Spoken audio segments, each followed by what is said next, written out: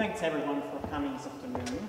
Well, the work I'm going to present today is joined with uh, Piers Fleming and Steven Watson, and it's been conducted at University of Anglia. What we're going to do today is to try to answer, based on existing evidence, try to answer two questions. What is the evidence that unlawful sharing causes harm? And in this context, you know, are the questions remain unanswered? And much of the report is on the second question, which is why do people choose to house share unlawfully? Or rather, what are the classes of reasons by which people may choose to engage in a local Okay? Now, my focus is going to be very much on the evidence. And the way we approach the evidence has been to use a methodology uh, used in the medical sciences, natural sciences, which is a scoping review methodology, which is a formal procedure by which you can look at evidence by looking at keywords in a number of different databases and see what comes up. Then filter these off based on criteria such as, for example, the, existence of duplications or the existence of actual evidence as opposed to being just set piece. And by this process, Steven will be able to talk about in more detail later if anyone is interested, we move from over 54,000 different sources to a little over 200. And this represents empirical primary data about people's unlawful culture in digital media over 10 years, 2003 2013. Notice that the focus has been notice that the focus has been squarely on the evidence. Okay? This will be an important point. Okay? So it's not been on, for example, economic models. Okay?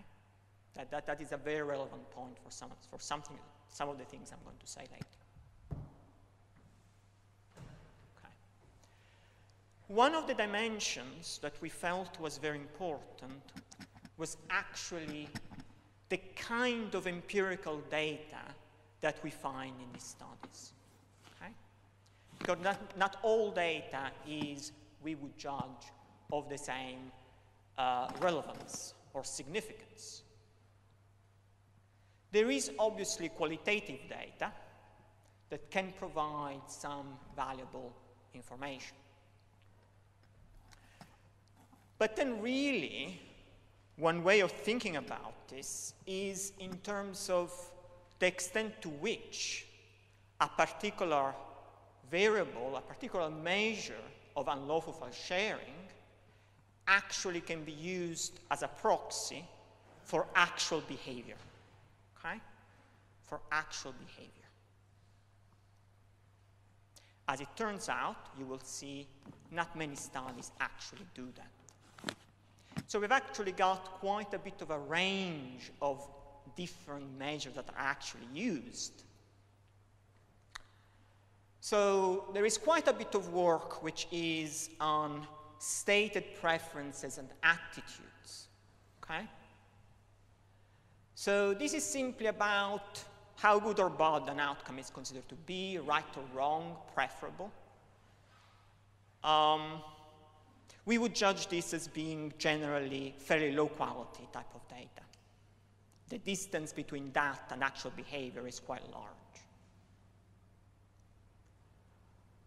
One step further, or one step closer, but still very far away from actual behavior, is the number of studies that look at intentions. So they ask participants behavior that they plan to engage in the behavior in the future. So intentions of future things. Okay? Hypothetical, counterfactual, however you want to call them, but not actual behavior. There are studies that look at willingness to pay. That is the amount of money that the participant states that they're willing to obtain in order to obtain a good, in order to pay, in order to obtain a good. Now, usually this is done in a hypothetical fashion, which frankly reduces it, the value of these studies considerably, because you can always state numbers if you don't actually have, a, have to have a purse to back it up. One step closer, there are studies of stated behavior. Now, this is when you ask a participant behavior that has been engaged in the past. So, how much file, legal file sharing have you done over the past six months, for example? Okay? There are still problems with this type of data. Um, because of the type of responses that you get when you ask these type of questions, because people don't remember, because people may not give you the right answer. But it is one step closer to actual behavior. And finally, there is observed behavior. So that is a behavior that is either directly observed, such as in an experiment, or else at the population level, say sales data. Okay? So that is, that is one important dimension. Now, if we focus now on the welfare side, it is important to think of welfare from both the welfare side, from both the uh, producer side and the consumer side. And we have come to this study with no preconception. We have found studies that do both, or rather do one or the other. So there have been studies that have looked at the impact of unlawful file sharing on legal sales. The focus of these studies has been on the producer side, which of course is an important side. There have been very few studies, I have to say, that have looked at purely the consumer side by asking for willingness to pay for files. Okay? So here they focus purely on the consumer side. Interestingly, and we're going to see this pattern again, out of 67 observations in terms of studies that we saw, about two thirds of them are about music. Now, there are a number of media, different media that you can think of music, movies, software, games,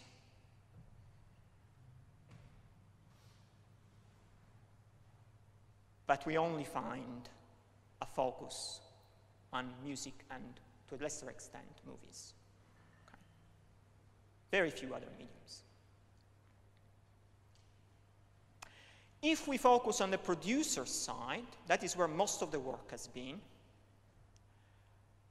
And what these literatures have looked at is the correlation between unlawful file sharing, that's what UFS means in, in these slides, and legal file sharing. There are different studies which have reached different type of conclusions, sometimes sensitive to what you include, what you exclude, to the method of analysis. One problem is that in many cases there is reliance on stated, even hypothetical behavior or counterfactuals. That is a problem with these studies. And ignoring the consumer side is a problem. Hmm? Producer side is very important, it's extremely important. We do take that very seriously. But you can't ignore the consumer side when you look at wealth. There are only four studies that look at the consumer side that we could find.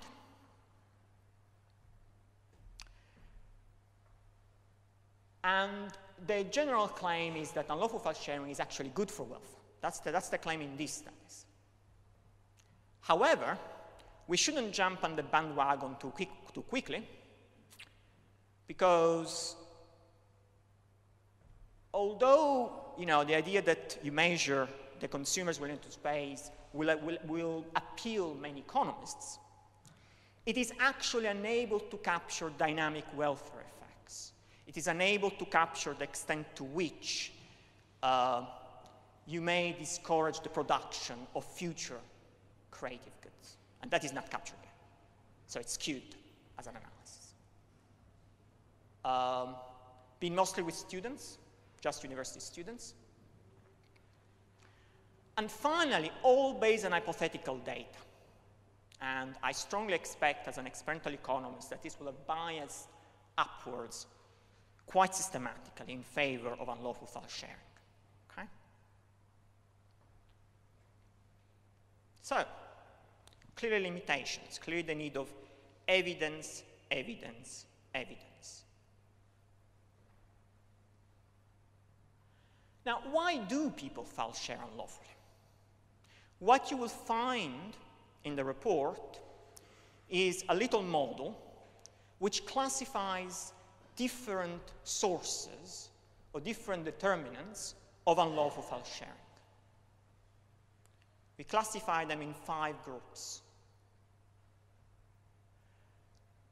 There are considerations of financial and legal, legal utility and disutility, so financial and legal determinants, okay? The differential price between legal and illegal, and the legal barriers, right? The legal framework.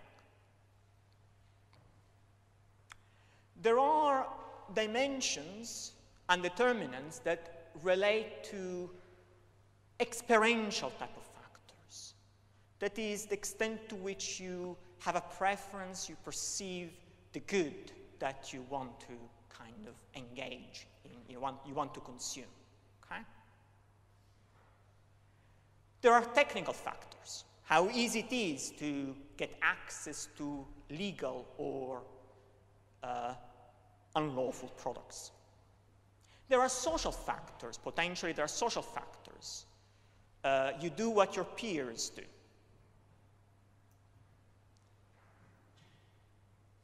And there may be moral factors of determinants, right? For example, to what extent do consumers think that there is harm for other parties by engaging in unlawful file sharing? Okay? So there are moral type of considerations that may, be, may matter as well. So these may all matter, and they will lead to an overall judgment that then will lead to a decision whether to do nothing, purchase a legal, a legal, a legal product, or engage in piracy. We have mapped the evidence we have found in a cubic model. This is the cube that you will find on the cover of the report. This cube has got three dimensions. One dimension is the uh, type of the source of, of unlawful file sharing. So experiential, moral, social, financial, legal, technical utility, for example. And another dimension, you've, you've got the type of data. This is what I was talking about earlier, how close you get to observed behavior. And then on another dimensions, that's this dimension over here, you get the industry. Okay? Music, software, movies, video games, books, TV, or generic. We simply couldn't tell from the study. Now, it should be obvious by looking at that cube how the evidence appears to be quite skewed. You know, you see, each of these little um, spheres represents the number of observations that we found in terms of studies for each combination of medium, uh, that is market, uh, type of measurement of unlawful file sharing, and type of determinant of unlawful file sharing. And you will see that there are quite big spheres up there and very little down here. It's very little. Okay? Let's look at this in more detail. So stated preferences. This is not ideal. It's not observed behavior. But what there is, it's primarily on music followed by software. Very little on everything else. This is less visible, but its intentions, and, and basically it follows the same pattern, okay? So music, followed by software, followed by everything else. Uh, this is less visible, but there is very little to see actually, because there are only very few studies under music, basically, for willingness to pay. Um, this we have considered uh, before, stated behavior. What about observed behavior? This is the most interesting one. It's the one that is most accurately reflects actually what's going on. And you find here that the data is skewed in two ways. First of all, again, there is a strong skew towards having studies, not many studies, so I'm not saying that actually there has been a lot of studies with music, because there hasn't been. But comparatively speaking, there has been more with music. Uh, followed by movies, a little bit on software, and then almost nothing else. Okay? Virtually no data with other, in other markets. And what data there is tends to have focused on financial and legal factors or on technical factors. In terms of observed behavior, there is basically nothing down here. Moral, social factors simply haven't been seen with when it comes to actual behavior.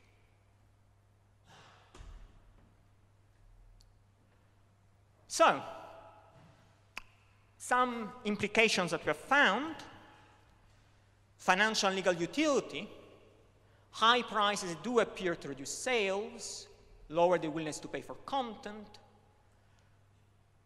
stronger laws do appear to reduce unlawful file sharing, but the effect may be temporary. We've tended to find evidence of temporary effect. And there is limited behavioral data confirming causal, a causal role. Experiential factors, we found some evidence that desire to sample new content, access niche content, build a collection may be relevant. Technical utility, technical factors. There is, it tends to work as an initial barrier to unlawful file sharing. But again, there is the need of hard observed behavior in terms of evidence. Social utility, we do find some correlation between unlawful file sharing, mainly in terms of intentions, and peer unlawful file sharing, but causality is a mess in this area. And there is not very little in terms of observed behavior, and similarly in terms of moral factors. So, let me conclude. Our key, our key benchmark, our key message has to do with evidence, evidence, evidence. Having good evidence, having more evidence, having evidence about behavior, having causal evidence is absolutely key for a good understanding of unlawful sharing and therefore for affecting, for changing the incidence of unlawful sharing.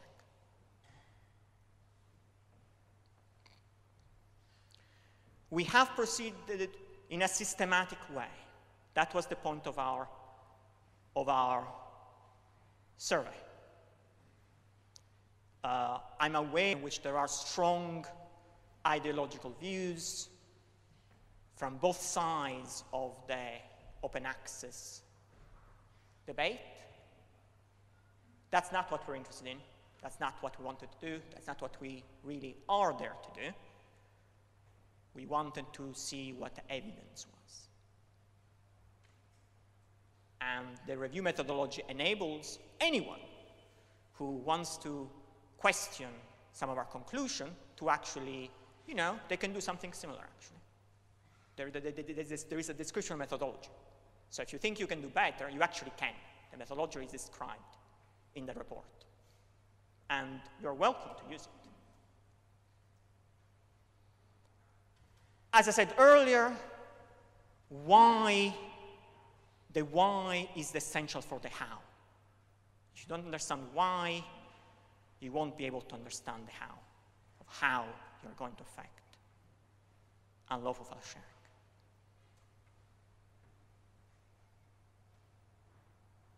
The cube is helpful in that context to understand where the gaps are in the evidence. And we have seen clear gaps in the evidence base, both in terms of the fact of concentration of studies in very specific, in specific industries, but not in others, absence of studies in others, virtually. And along the lines of focus often on proxies of unlawful sharing, that um, from a behavioral experimental economics perspective, which is mine, frankly, are likely to bear very little relationship with actual behavior. These things matter. These things clearly matter as far as policy goes, as far as stakeholders goes, because these are the kind of things from which then in relation to, depending on how they matter, you can use as a lever to affect unlawful file sharing, to reduce unlawful sharing, to increase legal sales. So um, in terms of financial legal utility, of course, you can think of ways of changing the price differential between legal and illegal. That's where different business models may come in. You can think about changing legal consequences, but the worry is that the effects may be temporary, so that is a source of concern if you think about that. May not actually be the solution that you think it is. Experiential utility, one of the things that emerged was that people who tend to engage in the greatest amount of unlawful sharing tends also to be the people who tend to engage in the greatest amount of legal purchases. Okay? So they tend to be the, great, the, the people with the greatest interest in the media per se. So there is a point there of thinking about policies which target consumers with greater interest in the media, specifically. Technical utility that is, in principle, straightforward, make legal easier, make illegal harder. Sometimes, for example, there is a problem with niche content that may not be available legally okay? in which case unlawful file sharing is the only way to go if the consumer want to have access to the content. Social utility changes social norm, okay? changes social norm, that would be a recommendation. Moral utility, change the perception of moral value, for example, the perception of no harm. Okay? Of course, some recent advertising campaigns have been along these lines. Um, but the problem there, and of course that's a more general problem, but applies the most to this type of potentially attractive form of interventions, relates to evidence, evidence, evidence, or rather the insufficient amount of actual behavioral evidence. Thank you very much.